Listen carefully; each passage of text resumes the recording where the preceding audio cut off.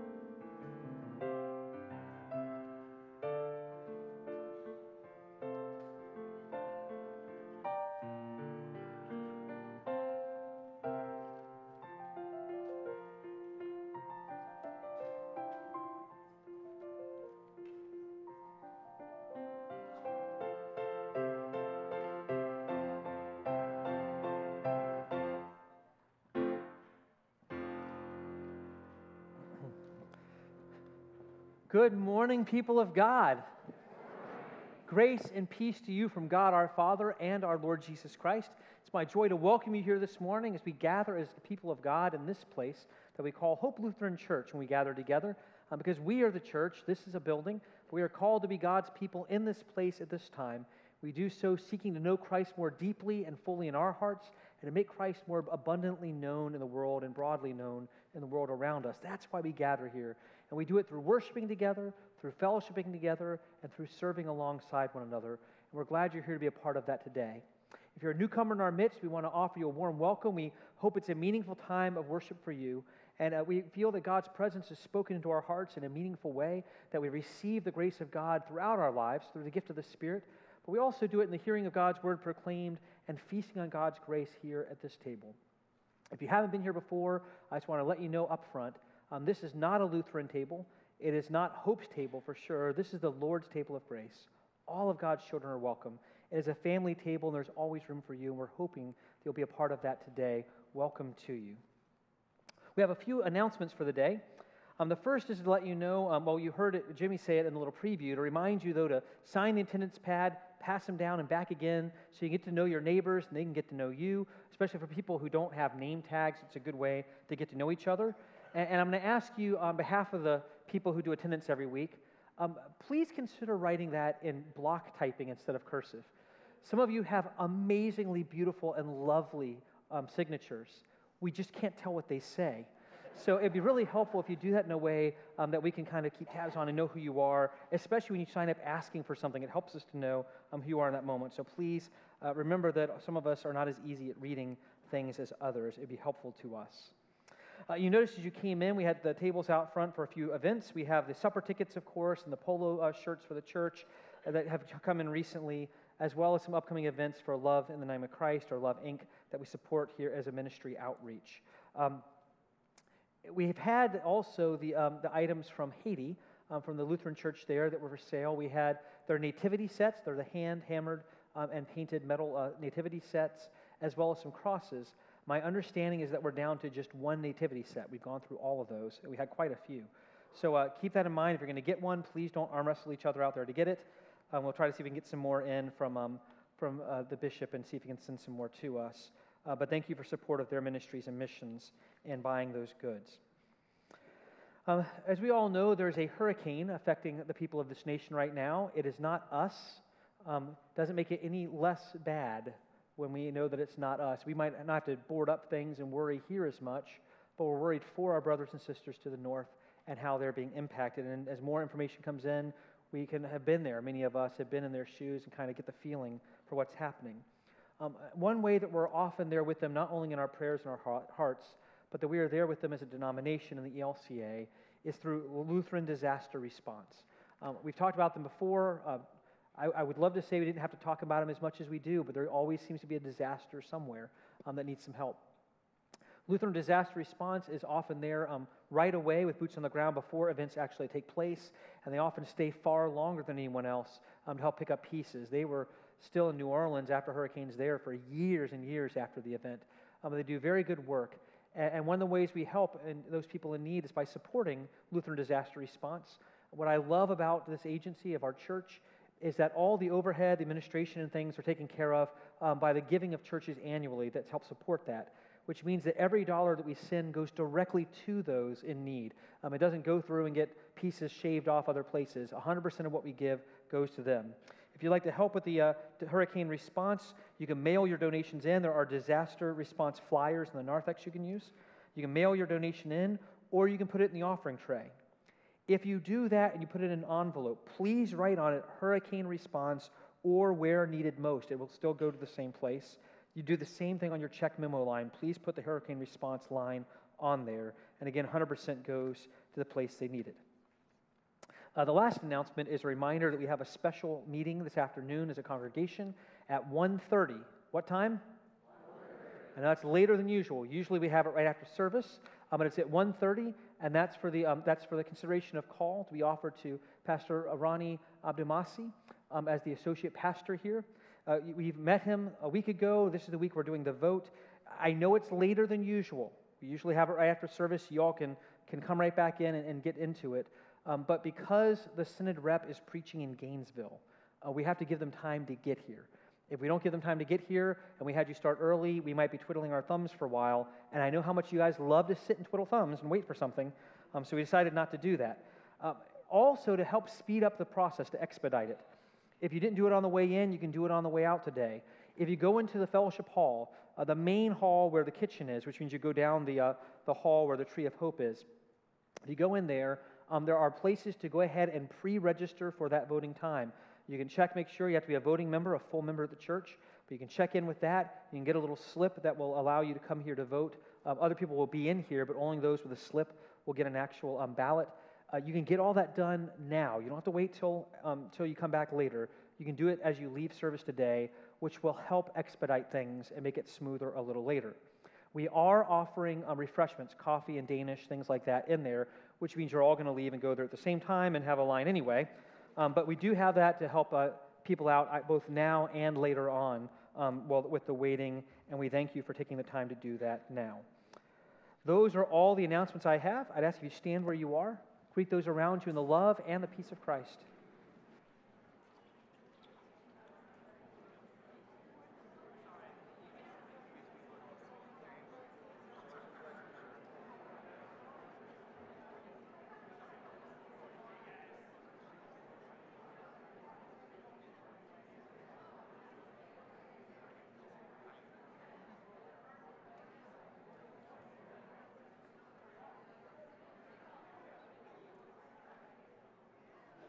Let's worship the Lord.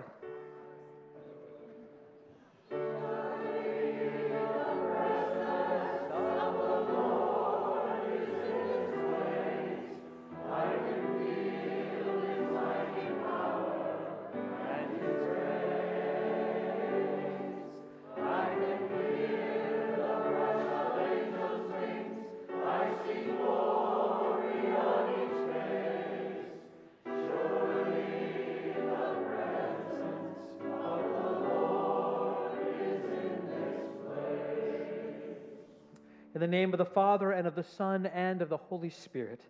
Amen. God of all mercy and consolation, come to the help of your people, turning us from our sin to live for you alone. Give us the power of your Holy Spirit that we may confess our sin, receive your forgiveness, and grow into the fullness of Jesus Christ, our Savior and Lord. Gracious God, have mercy on us. We confess that we have turned from you and given ourselves into the power of sin. We are truly sorry and humbly repent. In your compassion, forgive us our sins, known and unknown, things we have done and things we have failed to do. Turn us again to you and uphold us by your Spirit, so that we may live and serve you in newness of life through Jesus Christ, our Savior and Lord. Amen. In the mercy of Almighty God, Jesus Christ was given to die for us, and for his sake, God forgives us all of our sin. Amen.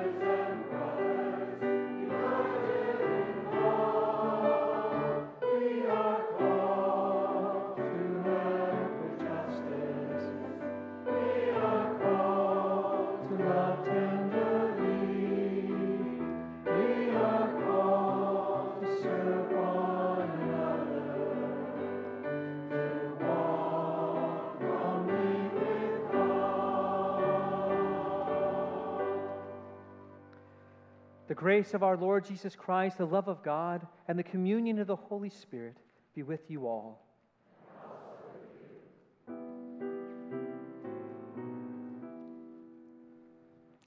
Have mercy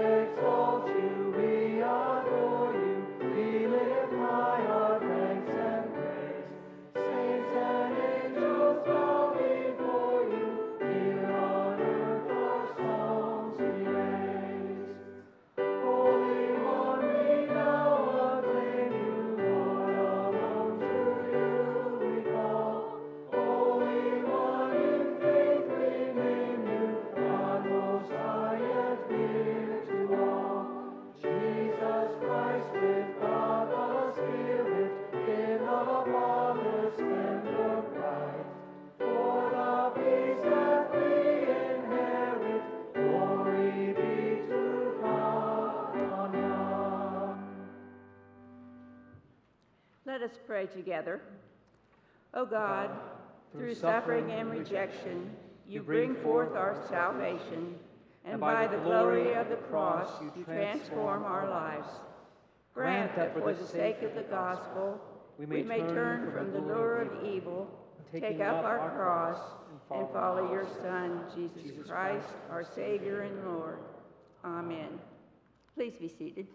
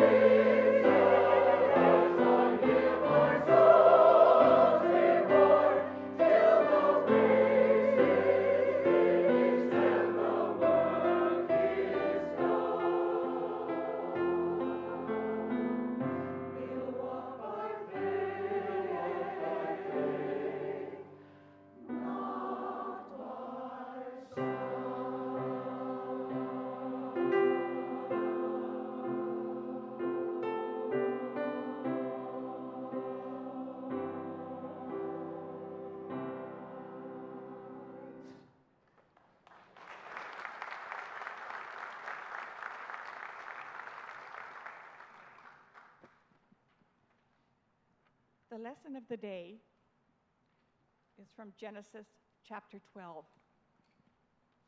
The lesson begins The Lord had said to Abram, Go from your country, your people, and your father's household in the land I will show you. I will make you into a great nation, and I will bless you. I will make your name great, and you will be a blessing. I will bless those who bless you, and whoever curses you, I will curse. And all the peoples on earth will be blessed through you. So Abram went, and as the Lord had told him, and Lot went with him.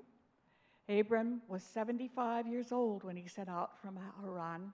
He took his wife Sarai, his nephew Lot, and all the possessions that he had accumulated and the people that had acquired in Haran. And they set out for the land of Canaan, and they arrived there. Abram traveled through the land as far as the site of the great tree of Moreh at Shechem. At that time, the Canaanites were in the land, and the Lord appeared to Abram and said, To your offspring I will give this land. So he built an altar there to the Lord who had appeared to him. From there, he went on toward the hills east of Bethel and pitched his tent, with Bethel on the west and Ai on the east. There he built an altar to the Lord and called on the name of the Lord. Then Abram set out and continued toward the Negev. The word of the Lord.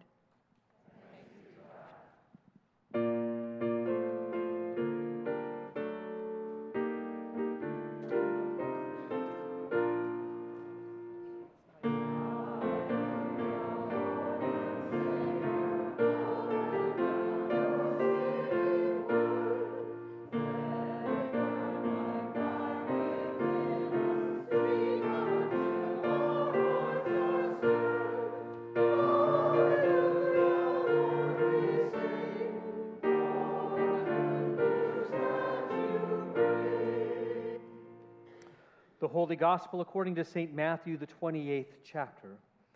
Glory to you, O Lord. Then Jesus came to them and said, All authority in heaven and on earth have been given to me. Therefore, go and make disciples of all nations, baptizing them in the name of the Father and of the Son and of the Holy Spirit, and teaching them to obey everything I have commanded you. And surely I am with you always to the very end of the age. The gospel of the Lord. Praise to you, O Christ. Please be seated and let us pray. Now speak, Lord, in this moment while we wait on Thee, and hush our hearts to listen with expectancy. Amen.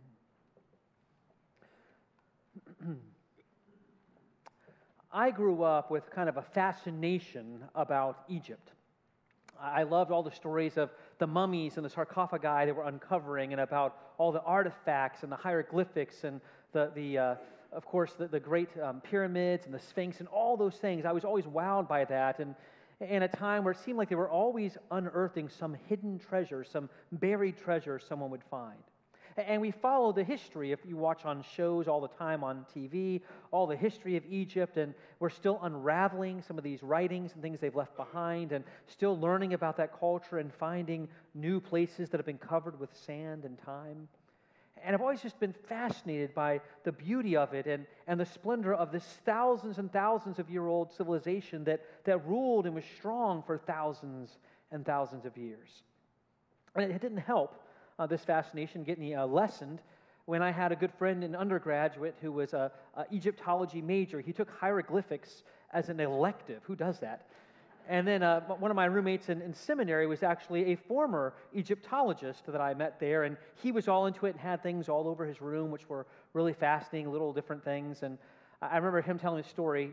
Sorry, Kurt, but I'm going there. Uh, he told me the story that when he was a little boy, he was so fascinated by Egypt um, that he actually took the bones from a, from a chicken they'd had one night for dinner and he tried to mummify them and wrap them in toilet paper like a mummy and bury them in a sarcophagus in the backyard. He was that into it. I wasn't that far gone. Sorry, bud. But I loved all those stories. I loved, I think, the, the ancient nature of what we were learning and just how amazing it was. Now, I grew up for some of my time in Jacksonville with St. Augustine down the road, the oldest city in uh, America, as they call themselves, because it was a few hundred years old at that point. And you start hearing about Egypt, and it blows your mind. And Egypt was big and it was powerful, not just because it had armies and things like that, and it was wealthy, not just because of that. It really was powerful because they were the breadbasket of the ancient world. The Nile would flood and make very fertile land, and they could grow a lot of wheat. And because of that, they were powerful and wealthy. And I've always thought of them, or did for years, of them being the big boys on the block, that they were the tough guys, they were the, the biggest person around. But the reality is, they were kind of Johnny come latelys to the party. There were others who were more powerful and older still than them in different regions. One of those is the area we call Mesopotamia. Uh, we call it the, the cradle of civilization.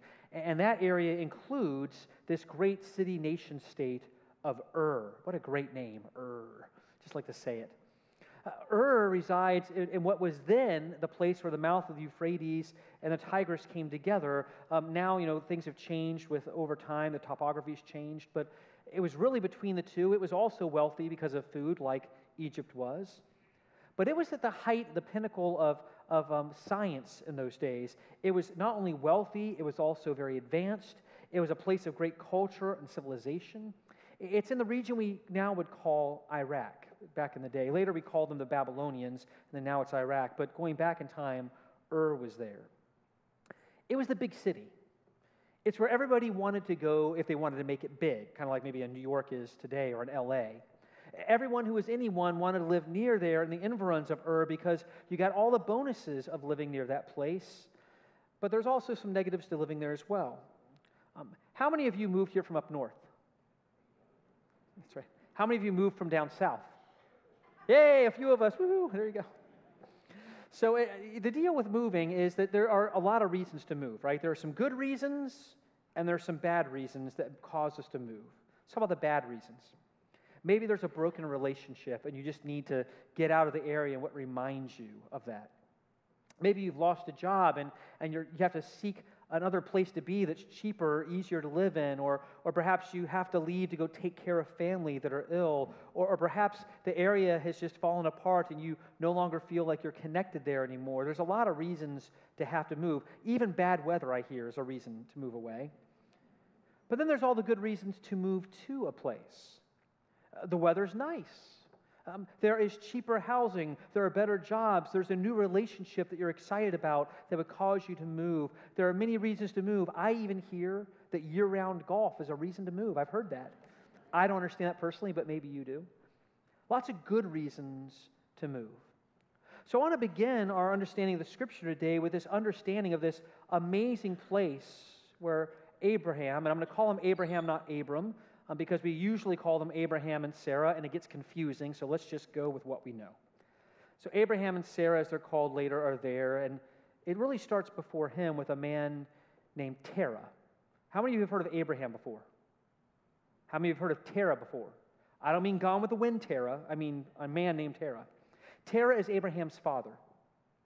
He wanted to leave Ur and move to a distant land known as Canaan. Isn't that interesting? He, he thought there was something there that was good. There's a few verses before our text. He, he wanted to move there, get the family out of that place. We don't know if it was for good reasons or bad reasons.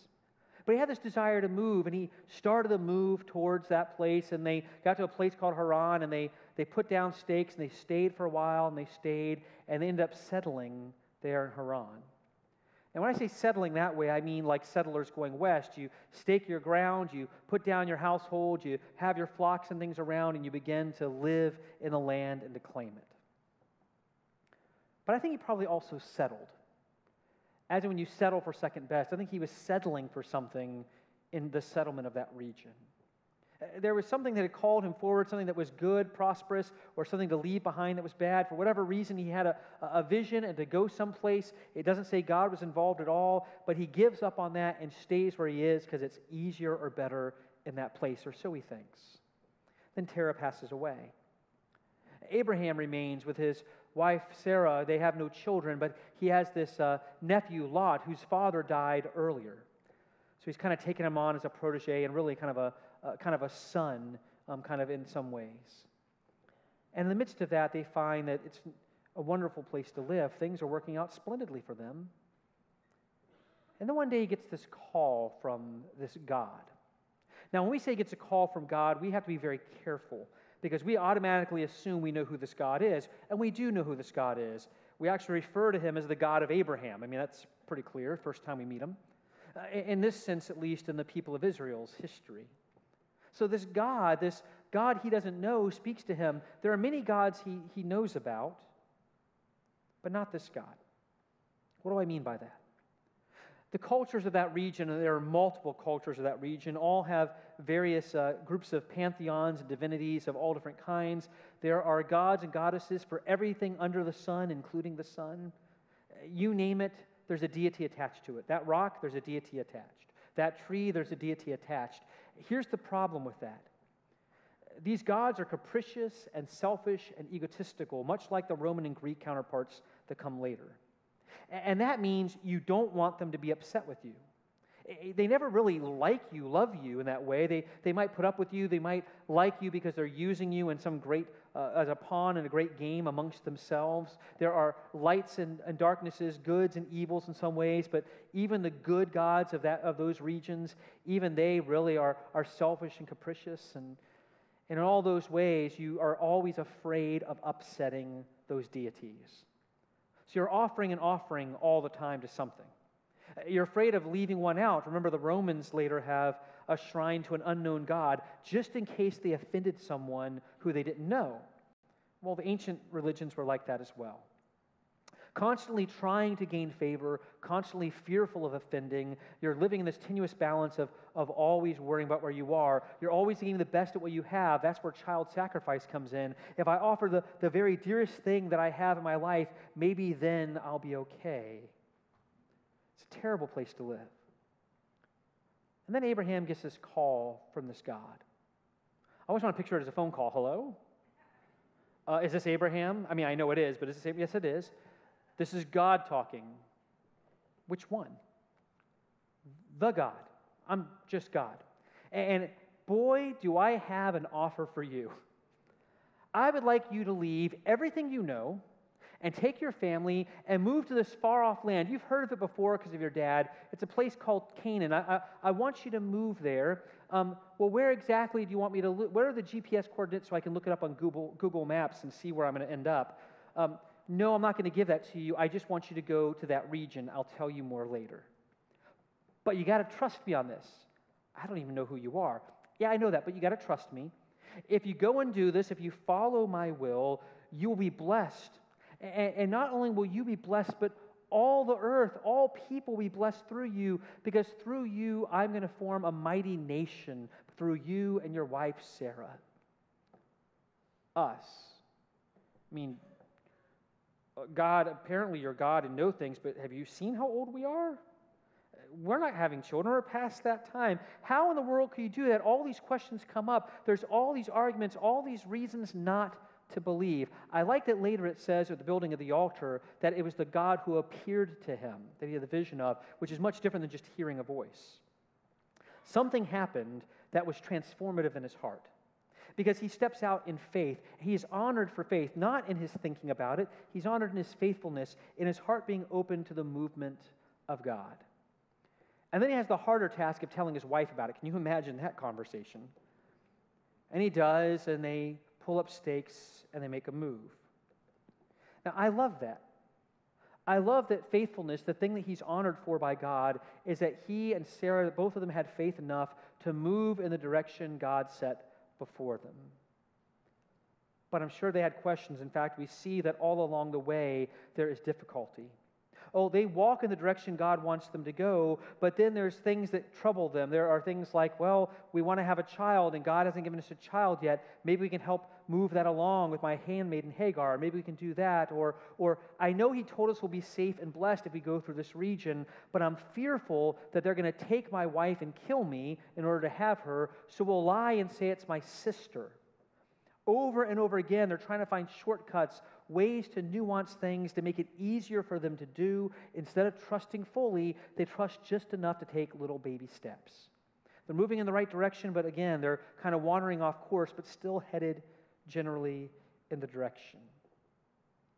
I think what they're honored for is they make themselves available to God. I'm sure they give God many reasons to shake his head and say, oh, but at the same time, at least they're moving. How many of us would be willing to do that today? How many of you are 75 or older?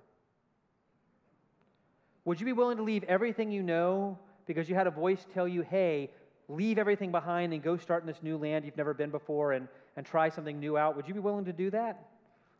I mean, wouldn't you want to see the fine print on the deal? I mean, how many of you buy a car without looking at the uh, what comes with the warranty and everything else? Anybody do that? Do you ever read the fine print? Have you ever read the fine, fine print? You should. There's all sorts of hidden stuff in there. I wonder at their willingness, their faithfulness in stepping out in that way. And I wonder about us and how others have dealt with that. Uh, the wonderful author, the young woman Corrie ten Boom, in sharing of her early life experiences and her faith experiences, shares a lot about her family. And she says one time she was going on a journey, and she and her father had to take the train. And she was very nervous about this, and she wanted to be assured, uh, assured that things were okay and that she was going to be fine. And, and there was a question she needed the whole way, and she was worried about whether she'd be able to get on the train and, and make the journey to where she had to go. And her father kept saying, Just stand by me, just walk with me, everything will be fine. And she was nervous, and she kept asking for her ticket the whole way. And, and, and they got there, and he just kept saying, Just trust me, everything's fine. They got on the train, and they made the journey. And while they were on the train, they started talking about the deep things of life. And started talking about scripture, about things like Abraham and faith. And, and she had questions about faithfulness and what that really means to, to trust God in faith. He said, Corrie, let's talk about the train trip today. Wise father. He said, When we decided to go on this trip, did I give you your ticket for the train then? No, Papa. When we were packing our bags last night, did I give you your ticket then? No, Papa. Did I give it to you when we left the house? No. Or when we were walking to the train? No. Did I give it to you when we got to the train station? No. Did I give it to you when we got on board the train? No. Uh, when did I give it to you? You gave it to me when I needed it. Ah. That's faith. Faith is trusting that when we walk with God, that we trust in the presence of God in our lives in such a way that God provides for us what we need when we need it. That's the, one of the first obstacles we have to overcome in faith is we want to know everything ahead of time. We like that, don't we? I mean, if we knew the outcome before the ending, I would never watch a Florida State game because they've been dismal recently. I would avoid them like the plague. But there's times where you know want to know the ending. It'd be easier in life, but but God doesn't work that way. God works in God's own timing. And then there's the times where, although we're willing to move forward in the direction God sends us, like Abraham and Sarah, we still want to do it our own way. Uh, we pray to God, we ask God to, to, if God will work in our lives, but what we're really saying is, God, would you please fit yourself into the little box of my needs and desires? Would you just be the God I need you to be in this situation of life? That would be really convenient and great we don't see how sometimes our desires and our wants get in the way. Reminds me of a young man who uh, called his mom. He had graduated college, he'd started his own job, living in his own in another town, and that distance had caused her a lot of anxiety, him being so far away, and wondering how his life was turning out. And one day he called her with a great call Mom, I found the one. I have found my dream woman. She is amazing in every way. Well, tell me about her well, she's beautiful and she's smart and she's caring and she's funny and laughs at my jokes and she's just she's just lovely. People love being around her. I just get all giddy when I'm around her and I feel butterflies and I, I just really feel she's the one and I, I want to date her again and I want to grow this. I really think, Mom, she might be the one for me. What should I do? His mom said, Well, you should court her, you should woo her, she should be yourself, but you should maybe be better than you usually are. You should send her some chocolates, send her some flowers, send her some notes, invite her out to dinner. In fact, better yet, why don't you invite her over to your house, to your apartment, and why don't you all have a nice home cooked meal together? And you can really get to know each other, and she'll see how wonderful you are. I know you're a wonderful boy, and she'll just fall for you. That's a great idea, Mom. Thanks so much. So, being a mom, she called him very early the next day to see how it went, because moms do that apparently. And she said, Well, son, how was it? He said, Well, mom, I did everything you said. And she said, That's great. How did it turn out? It was horrible. It was the worst night of my life. What? Mom, it was absolutely, I mean, I'm just, it was devastating. Well, what did you do? Well, I, I sent a note to her at work and I sent flowers and chocolates with it and, and asked her for our second date if she'd come over and, and we could have dinner at home. And I was so excited and I cleaned the house and I got everything set up. I had, I had candles and I had champagne. I did everything I could think of to get everything ready. And everything was wonderful. She showed up and she was dressed nicely and everything was great. Well, son, I don't understand what was going wrong. Well, mom, I did everything you said to do. And then when I asked her to cook the meal, everything fell apart. Sometimes we can't get past ourselves. We, we think we know what we're doing, we think we're following a plan, and then we do what we want to do, and everything falls apart. Poor guy. I hope his mom taught him a little better for next time.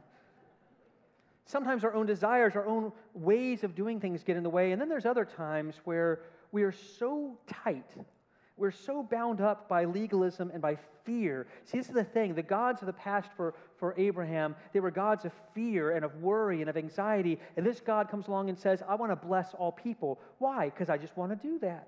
I want to love people. I want to bless them. I want to use you to do it. Uh, not in something back for me, but because it's my desire to love and show grace and mercy and favor. And that's so out of the norm for what he's known. Maybe that's what piqued his interest. But sometimes, even knowing that, we get so worried about pleasing God. We're, we're so uptight, we're so formal, we're so rigid in our faith that, that we have a problem. Because God calls us to go somewhere, but we say, no, there's only this one way of being and this one way of doing, and we can't possibly change what we do. There was a wonderful uh, Presbyterian pastor, he's also an evangelist, um, by the name of Daddy Hall. I love that name, Daddy Hall. And Daddy Hall was known for, uh, for shoot, uh, preaching really strong, fiery sermons, and he would shoot from the hip. What that means is that he would be walking around in the congregation and he would see someone and know something about their life, and he would go over and speak right to them about their issue in life and preach at them in front of everyone. How many want a pastor like that? It's why Lutherans sit in the back of the church, I'm just saying. He was known for doing this. And he had been a guest preacher at a revival for a week. He'd gotten to know people in that church before. And there's this one couple that always sat down front. I'm not picking on y'all. Always sat down front. And everybody knew them. They were very formal, very strict people. They were so rigid, people said they sat there like two ironing boards.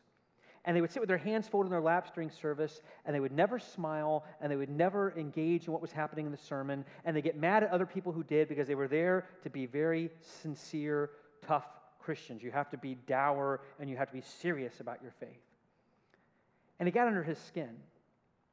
So Daddy Hall was preaching one time and he saw them sitting there and they weren't responding to anything and everybody else was listening and responding and they were being moved and these people were sitting there as if they were by God not going to be moved no matter what somebody said.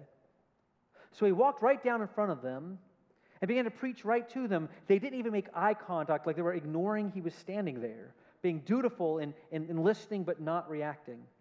So he got down so he's eye to eye with the woman and she could not ignore him, and he spoke loudly enough for everyone to hear. He said, Madam, have you ever seen a cat carry its kitten?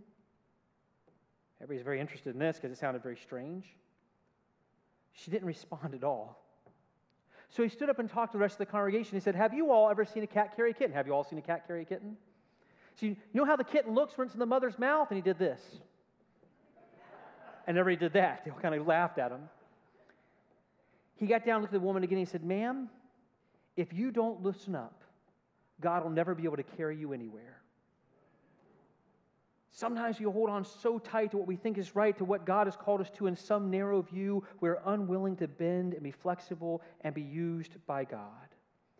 Sometimes we have to let God carry us and trust where God is carrying us into a good place. Now, Abraham is trying at this point still to earn God's favor. He's going, but he's doing it hesitantly. He's, he's stepping out in faith, but he's still looking out for himself. And, time and again, when he goes off track, he, he falls down, and he and Sarah make a rough way of it. But God is faithful to them. And the more flexible they are, the more willing they are for God to carry them and lead them, the better things go. We all want a call like that in life, don't we? Wouldn't you love for God to speak to you in a way you knew was God saying, I have a plan for you, and here's what it is? Wouldn't that be wonderful if God was that direct sometimes? Well, God does have a plan for us. And Christ was pretty direct when we read in Matthew what we read earlier to go into all the world and make disciples of all people, teaching them to obey everything I have commanded you about loving and serving and honoring and those things, and baptizing them along the way to make them my people. And that doesn't mean you have to go to some far flung place and send some missionary somewhere, although that's a good thing to do. It means that wherever you are as the people of God, wherever you find yourself in life, to take a good look around and say, This is where God's placed me at this point in my life. I'm willing to go wherever God leads me, but here's where I am. How can I honor God, serve others, and love people with the grace I've been given here and now? And you say, But, Pastor, that sounds so simple. That's not fireworks and explosions and wonder. That's, that's just living faith. And you're right. See, sometimes we want big things, but sometimes big things happen in small ways. Reminds me of a conversation that was overheard, overheard over a fence in Hodgenville, Kentucky, many years ago. It went something like this. Two neighbors who uh, lived on other sides of the town from each other would see each other in town. Whenever they crossed paths, they would share news, gossip with each other, you could say. Any news down at the village, Ezry? Well, Squire, Squire McLean's gone to see Madison swore in as president. And old Spellman tells me this Bonaparte fellow has taken over most of Spain. What's new around your neck of the woods, neighbor? Oh, nothing much at all. Just Tom and Nancy Lincoln having another child. This one's a boy. Decided to name him Abraham. Nothing ever happens where I live. I think the birth of Abraham Lincoln was a pretty stellar event in history. I think the call of his life to serve as he was enabled to do was an amazing thing, as was the call of Abraham. And your birth was pretty amazing too. Your birth into this world, your birth as a child of God, and your baptism, who called you by name to serve and love those around you. We're to be faithful in that call as individuals and as a community.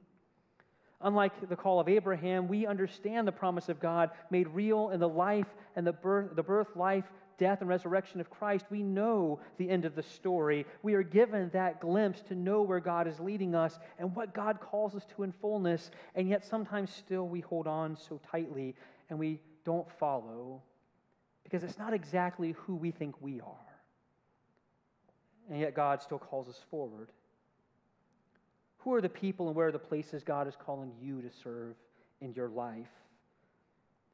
It might only be for this season of life. Maybe God will call you somewhere else tomorrow or the next day or the next week or the next month.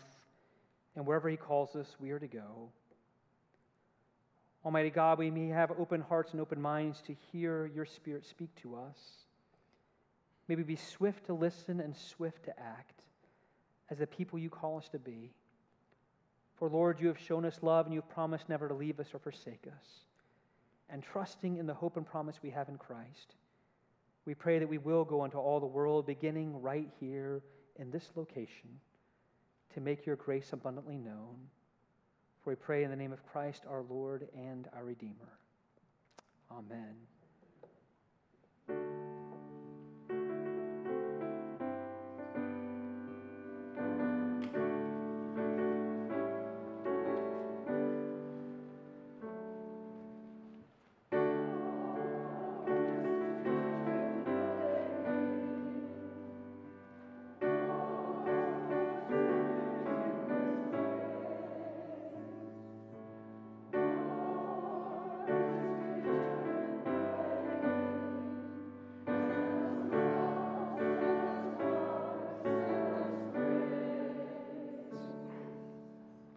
Living together in trust and hope, we confess our faith. I believe in God the Father Almighty, creator of heaven and earth. I believe in Jesus Christ, his only Son, our Lord. He was conceived by the power of the Holy Spirit and born the Virgin Mary.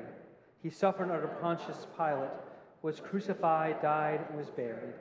He descended into hell. On the third day he rose again. He ascended into heaven and is seated at the right hand of the Father. He will come again to judge the living and the dead.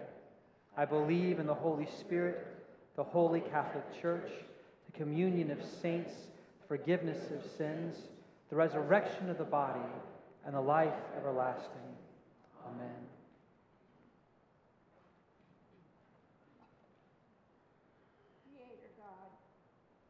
Call us to love and serve you with body, mind, and spirit through loving your creation and our sisters and brothers. Open our hearts in compassion and receive these petitions on behalf of the needs of the church and the world.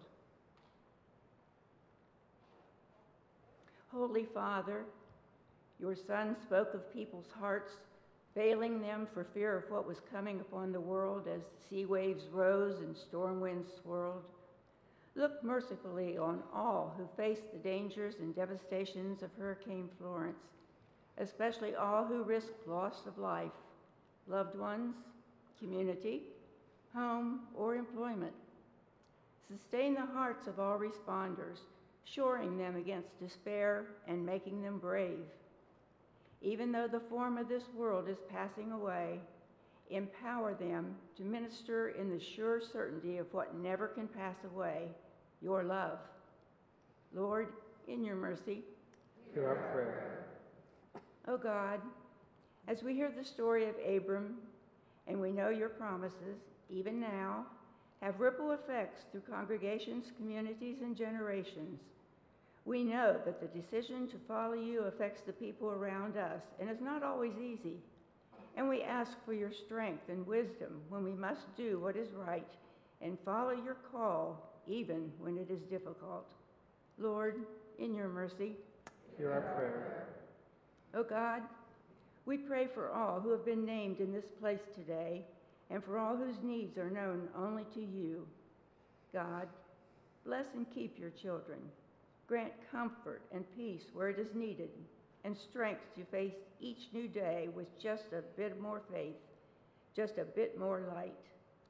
We pray today, Father, for those who hold dear to us in our hearts or in our lips.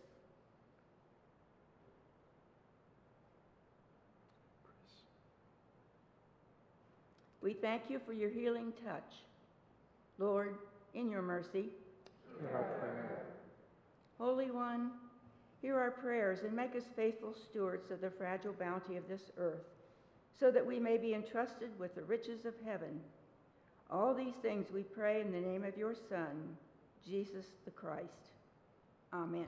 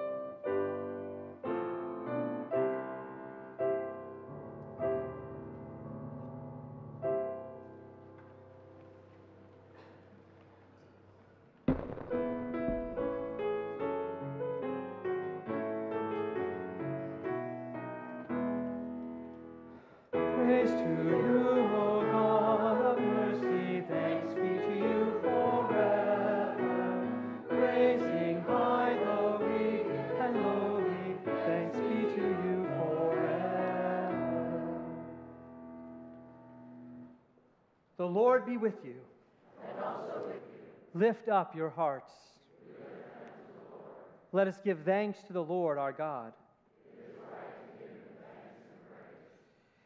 It is right and a good and joyful thing, always and everywhere, to give thanks to you, Almighty and merciful God, for the glorious resurrection of our Savior Jesus Christ, who after his resurrection sent forth the apostles to preach the gospel and teach all nations, and promised to be with them even to the end of the age. And so, with the glorious company of the apostles, with the choir of angels and the hosts of heaven, we praise your name and join their unending hymn.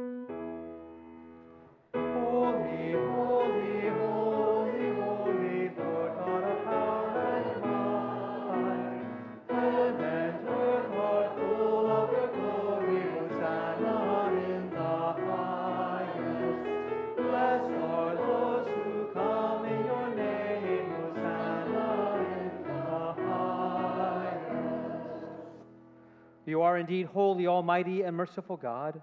You are most holy, and great is the majesty of your glory. You so loved the world that you gave your only Son, so that everyone who believes in him may not perish, but have eternal life. We give you thanks for his coming into the world, to fulfill for us your holy will, and to accomplish all things for our salvation. In the night in which he was betrayed, our Lord Jesus first took bread. When he had given thanks, he broke it and he gave it to his disciples, saying, Take and eat, for this is my body, which is broken for you. Do this for the remembrance of me. Again, after the supper, he took the cup. When he had given thanks, he gave it for all to drink, saying, This cup is the new covenant in my blood, which is shed for you and for all people for the forgiveness of sins. Do this as often as you drink it in remembrance of me.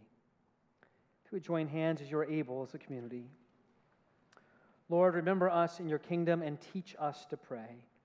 Our Father, who art in heaven, hallowed be thy name. Thy kingdom come, and thy will be done, on earth as it is in heaven.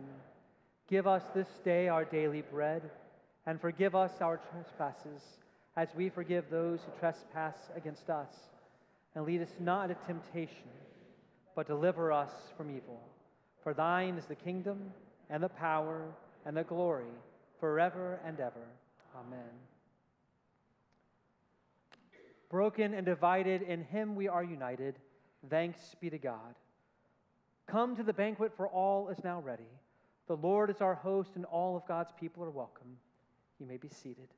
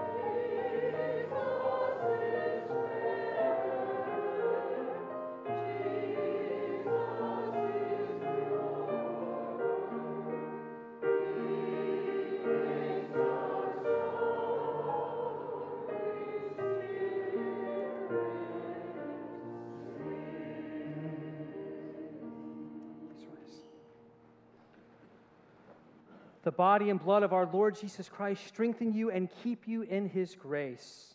Amen. Now may the grace, the mercy, and peace of Almighty God, the Father, the Son, and the Holy Spirit abide in your hearts and your homes this day, this week, and forevermore, world without end. Amen.